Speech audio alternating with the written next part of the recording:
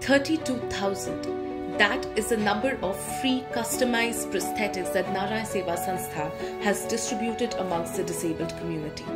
With your support, our NGO partner NSS continues to bring about walking opportunities in the lives of the disabled people.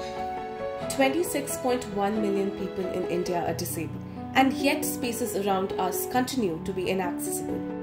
Simple tasks that many take for granted can be incredibly difficult.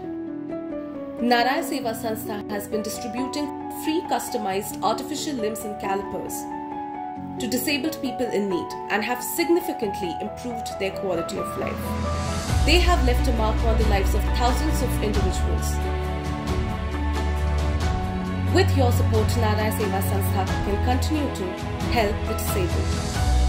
Follow the caption to contribute and help them walk on their feet again.